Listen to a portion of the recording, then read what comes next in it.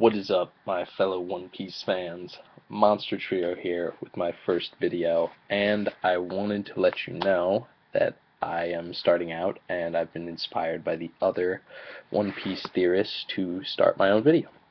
And so now I'm starting my own channel, and I'm gonna do a lot of One Piece theories, discussions, etc. I read the manga and everything. I'm probably not as in detail with the other guys. They probably know a lot more, and I'm probably gonna focus mostly on One Piece because I just I love that series the most. I've seen a lot of anime, but that's definitely my favorite.